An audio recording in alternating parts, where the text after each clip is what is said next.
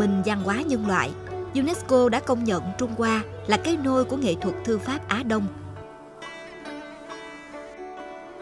Đối với các nước đồng văn như Nhật Bản, Triều Tiên, Mông Cổ, Việt Nam, thư pháp Trung Hoa có sức ảnh hưởng khá mạnh mẽ.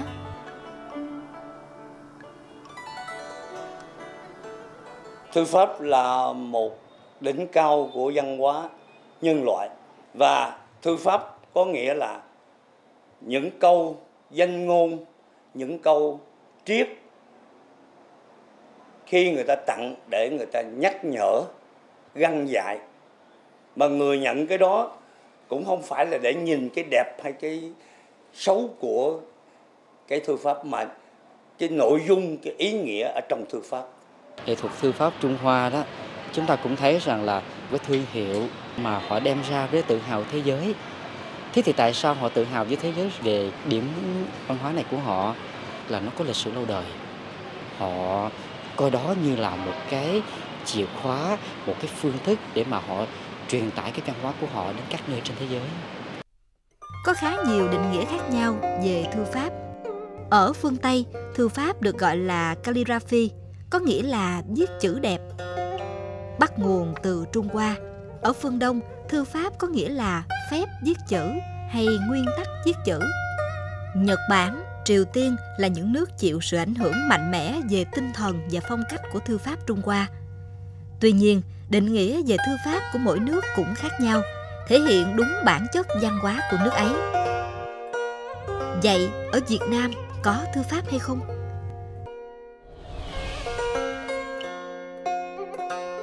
Trong tiến trình lịch sử đất nước Việt Nam có hơn 1.000 năm bắc thuộc, nên ít nhiều văn hóa Việt Nam bị ảnh hưởng bởi văn hóa Trung Hoa.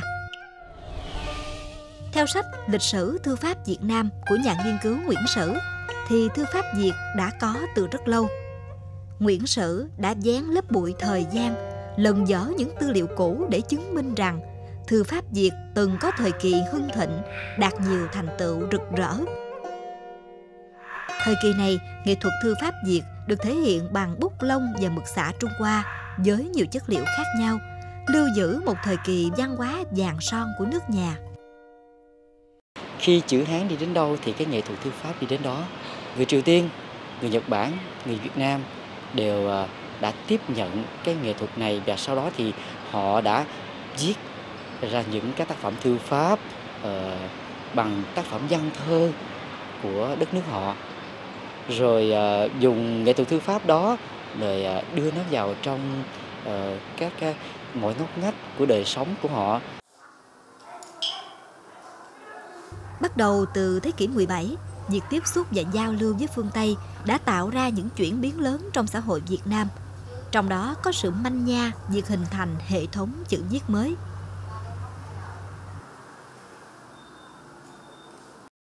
Năm 1651, nhà truyền giáo Alexander de Rhodes đã cho in quyển từ điển Việt Bồ La, dùng mẫu tự Latin để ghi âm tiếng Việt, đặt nền tảng cho việc hình thành nên chữ quốc ngữ ngày nay –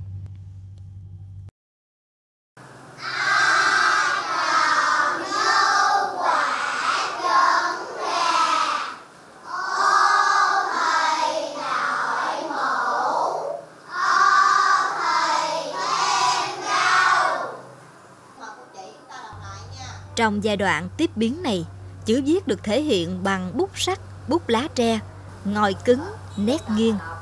Có thể nói, mảnh đất hình chữ S khiêm nhường đã trở thành nơi giao thoa của hai nền văn minh Đông, Tây. Đây chính là một đặc điểm rất thú vị về ngôn ngữ và chữ viết mà không phải quốc gia nào cũng có được.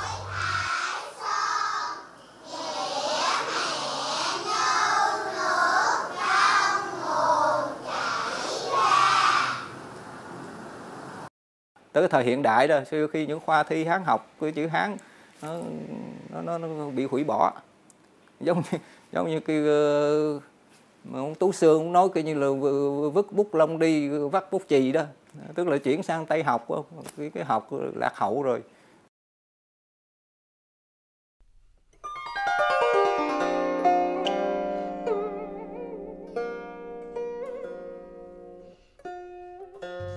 Nơi miền biên diễn Hà Tiên, đâu đó còn gian vọng những câu thơ về thi sĩ tài danh Đông Hồ. Dường trí đức thành phương ngõ rộng, hạt quốc văn gieo giống tinh qua, trải bao gió lộng sương pha, tốt tươi hồng hạnh, rườm rà quế lan. Thi sĩ Đông Hồ tên thật là Lâm Tấn Phát. Ông là nhà thơ, nhà phê bình văn học và cũng là nhà nghiên cứu văn hóa. Trong những năm từ 1926 đến 1934, Đông Hồ lập ra Trí Đức Học Xá, chủ trương dạy tiếng Việt, cổ động mọi người học chữ quốc ngữ.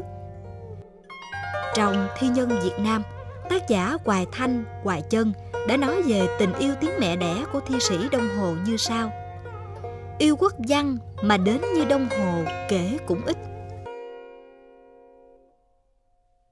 Cái bài thơ nào của Đông Hồ nó cũng thể hiện cái tình yêu tiếng Việt này của ông. À, ngay cả khi ông làm báo cũng vậy. Làm báo cũng vậy thì chúng ta biết là ở đầu thế kỷ 20 đó thì à, cái báo chí tiếng Việt của chúng ta là viết chính tả rất là sai nhưng mà riêng cái tuần báo sống do ông Đông Hồ ông chủ trương ông chăm chút chính tả à, rất là, là là kỹ lưỡng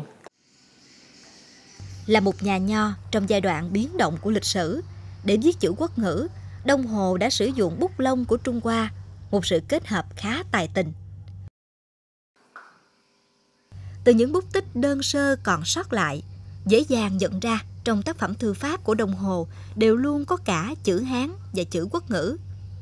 Có lẽ, trong khi tâm còn chất chứa bao hoài niệm cũ, thì trí Đông Hồ đã chấp nhận tinh thần cách tân. Nét bút gãy gọn, thể hiện suy nghĩ, thái độ của ông về một giai đoạn mới.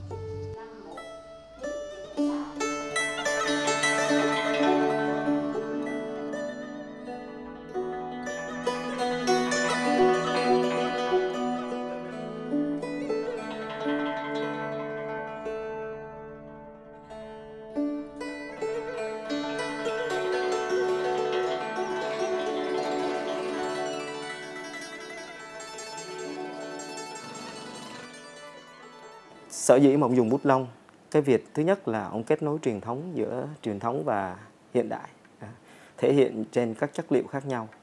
Và cái việc đó nó cũng quen tay đối với ông, tại vì trước đó ông cũng dùng bút lông và ông cũng dùng có bút sắt à. và cái phương pháp viết chữ của ông à, ông đồng Hồ đó thì nó rất là mộc mạc và quy củ, vừa thể hiện một cái tâm hồn của một nhà thơ, một nhà thư pháp và nó vừa thể hiện cái mô phạm của một nhà giáo nghệ thuật thư pháp chữ Việt có thể có một cái bản sắc rất rõ. Đó là sự tích hợp giữa văn hóa Đông và Tây. À, một cái nền à, một cái sản phẩm phương Tây từ chữ Latin cộng với cái cây bút lông là sản phẩm phương Đông. Đã được người Việt chúng ta sáng tạo linh hoạt và kết hợp lại.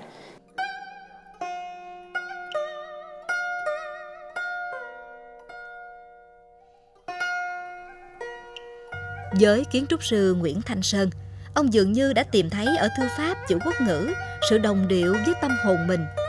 Ông yêu thư pháp ở sự giản dị, mộc mạc.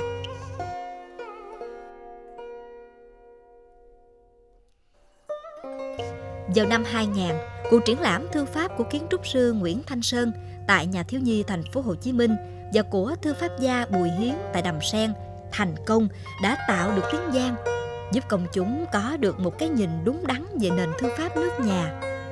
Từ đó, phong trào viết thư pháp chữ quốc ngữ dần lan rộng.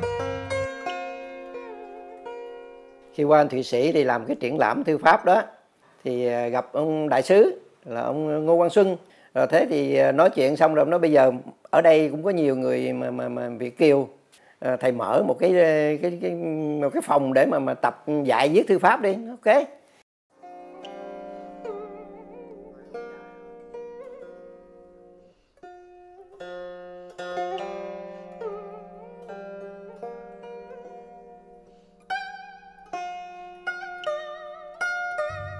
Trong các tác phẩm thư pháp của mình, kiến trúc sư Nguyễn Thanh Sơn thường chọn bút pháp chân phương, dễ đọc, dễ cảm nhận.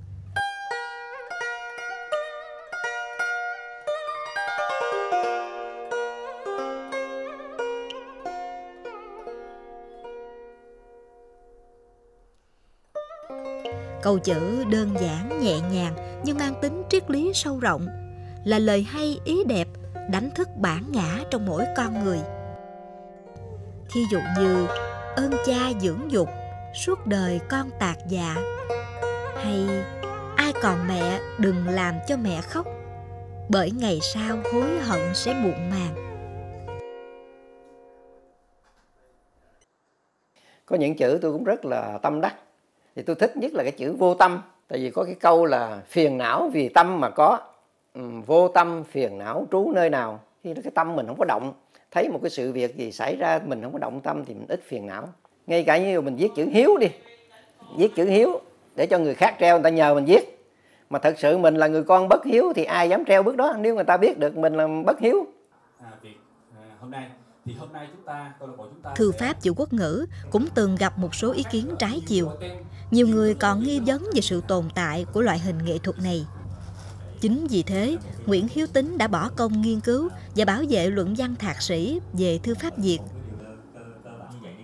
Ngày nay, thư pháp Việt có ảnh hưởng sâu rộng đến xã hội.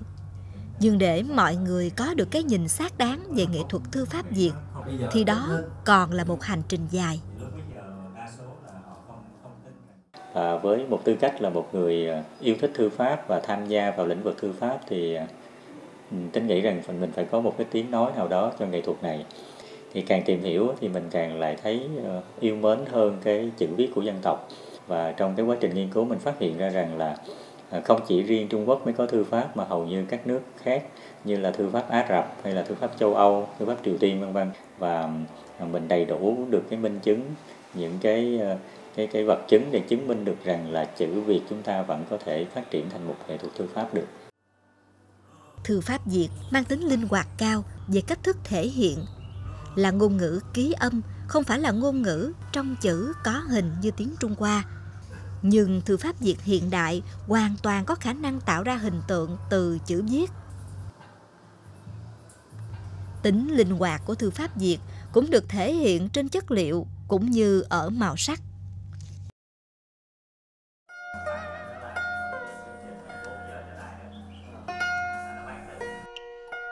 Trải ngàn năm, thư pháp Trung Hoa mang tính hệ thống và có những quy định chặt chẽ về thể chữ.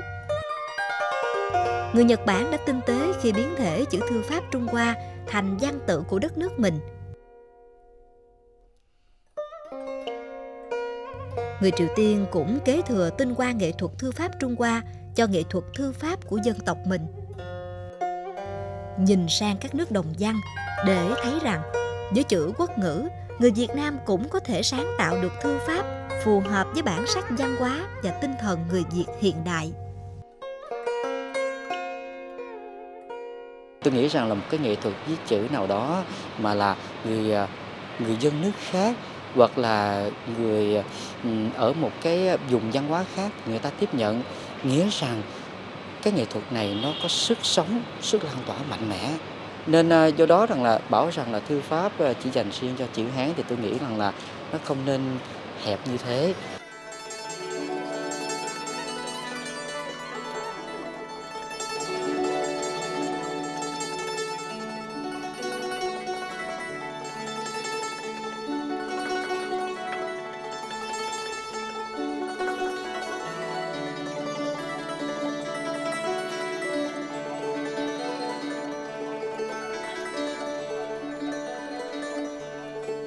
Thì à, may mắn hơn là những người à, cùng thời viết thư pháp là bởi vì à, tôi sống ở nước ngoài.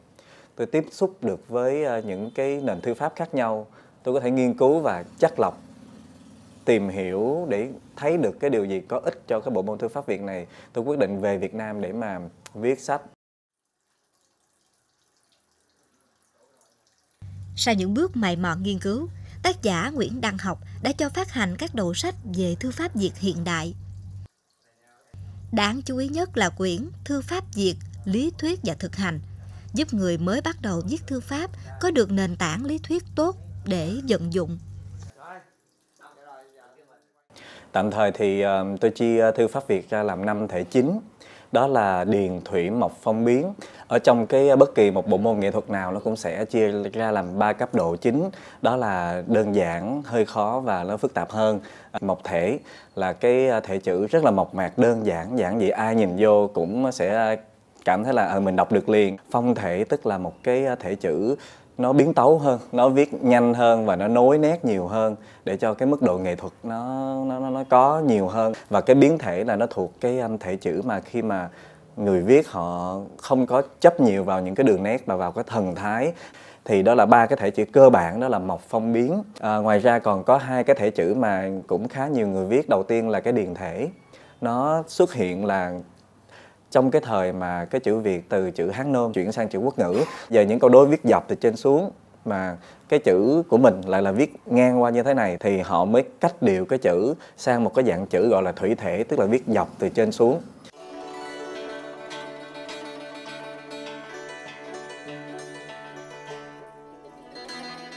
Để có được bút pháp đẹp, người viết phải tập đi tập lại rất nhiều lần. Luyện mãi thành tài, miệt mài tất giỏi.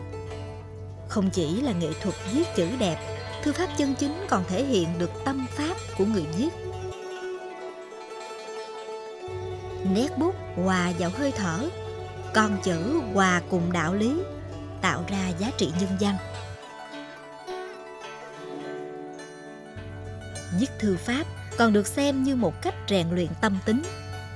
Thiền sư Thích Nhất Hạnh từng nói, viết thư pháp là một môn thiền định.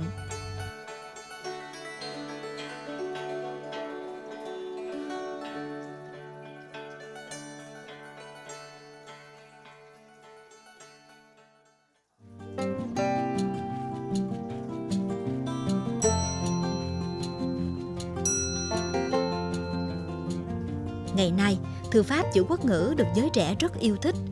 Có thể nói, sự xuất hiện của thư pháp Việt hiện đại chính là sự đột phá và sáng tạo của người Việt. Sau các bộ môn nghệ thuật mới ra đời, ít có bộ môn nào nhận được sự quan tâm nhiều đến vậy. Nhiều lớp học thư pháp, câu lạc bộ viết thư pháp đã ra đời. Tuy nhiên, thực trạng cũng cho biết thư pháp chữ quốc ngữ đông về số lượng nhưng thiếu về chất lượng. Ờ, giới trẻ thì thì thực hành viết thư pháp nhiều nhưng mà việc lý luận hay là hệ thống hóa cái nghệ thuật này thì tương đối ít. Mà một một loại hình nghệ thuật mà muốn phát triển một cách bài bản thì đương nhiên nó phải song hành cả lý thuyết lẫn thực hành. Những người cùng đam mê bộ môn này thì lại không chịu ngồi lại với nhau. Để mà cùng đóng góp, xây dựng cho một cái bộ môn này có một cái nền tảng vững chắc, có một cái hệ thống lý thuyết nó thống nhất để mà phát triển cái bộ môn này Từng có lúc, người ta nghĩ thư pháp bị chìm khuất và lãng quên giữa nhịp sống hối hả. Tuy nhiên, lịch sử luôn chứng minh nếu là nghệ thuật chân chính thì trong bất cứ hoàn cảnh nào, sức sống của nó cũng rất mãnh liệt. Tựa như một ngọn lửa, thư pháp chữ quốc ngữ đã âm ỉ, le lói rồi bùng cháy trở lại khi xã hội tiến vào thiên niên kỷ mới. Thần thoát tỏa trong từng nét bút ý dút cao vi diệu vô cùng. Trí tinh tường sáng bừng trang chữ, khí hào hùng sấm động âm gian.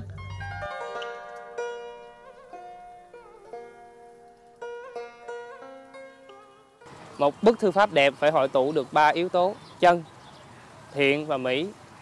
Chân ở đây là phải chân thật chân thật về nội tâm và chân thật về tác phẩm của mình đưa ra. Thiện là những cái cái cái câu từ mình viết phải luôn hướng thiện những lời hay ý đẹp thì có một câu tôi rất là tâm đắc của cụ Nguyễn Du. Đó là thiện căn ở tại lòng ta chữ tâm kia mới bằng ba chữ tài. Về cái mỹ mỹ ở đây là mỹ thuật về bố cục của chữ lớn chữ nhỏ về bố cục của tranh và màu sắc phải hài hòa thì như vậy mới được đánh giá là một bức thư pháp đẹp.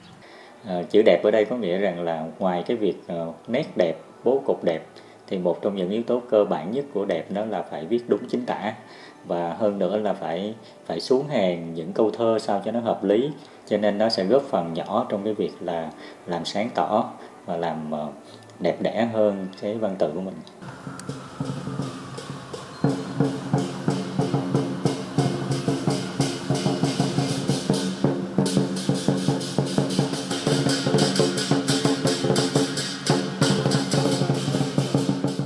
Mùa xuân mới đang về. Phố phường rộn rã Lòng người nô nức.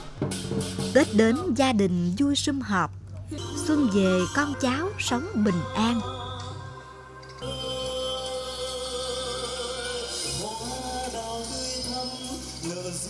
Nhịp sống hối hả nơi đô thị Không làm người Việt lãng quên việc xin chữ đầu năm. Cầu mong năm mới mọi điều tốt lành. Việc cho chữ, tặng chữ đã trở thành mỹ tục trong văn hóa Việt Nam.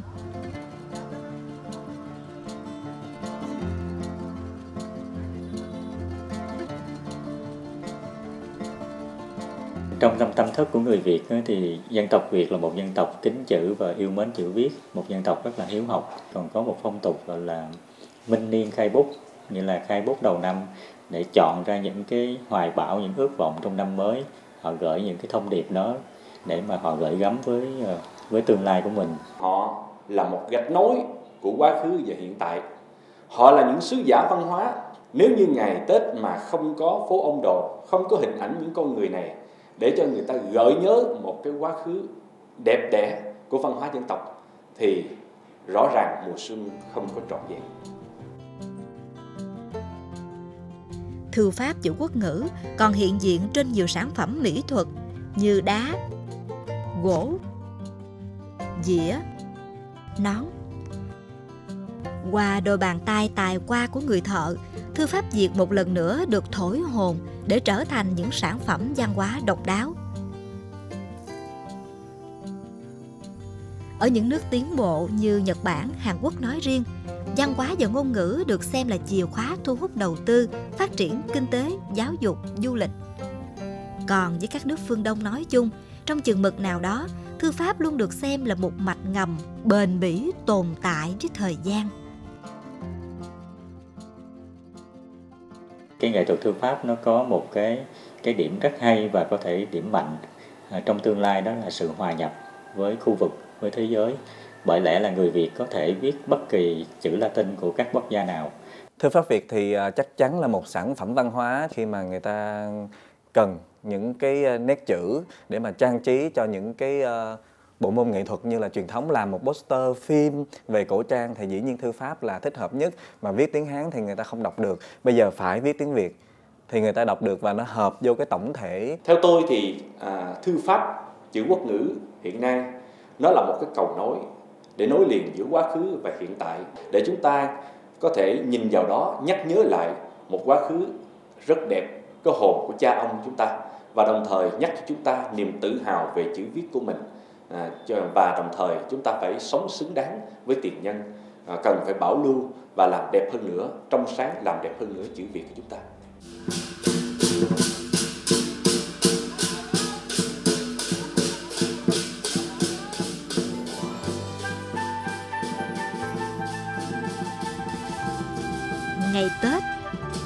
Mỡ, dưa hành, câu đối đỏ Cây nêu, tràng pháo, bánh chưng xanh.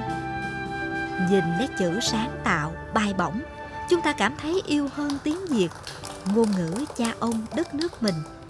Năng động, phóng khoáng, hiện đại Nhưng vẫn toát lên vẻ đẹp của truyền thống, của thời gian. Việc làm đẹp chữ viết dân tộc là phương cách giữ gìn sự trong sáng của tiếng Việt, làm giàu cho văn hóa bản địa. Cùng với người Việt hiện đại, thư pháp Việt sẽ mang vẻ đẹp văn hóa ấy dương ra thế giới.